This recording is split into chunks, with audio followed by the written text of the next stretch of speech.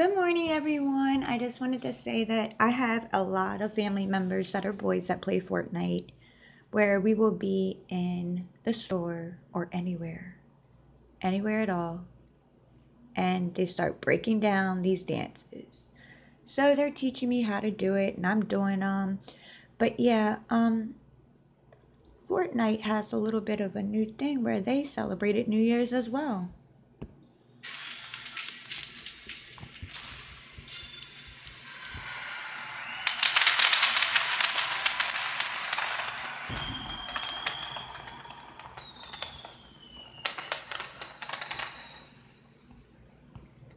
So if you have a kid interested in Fortnite or a family member like I do, um, I bet you they're really excited about this.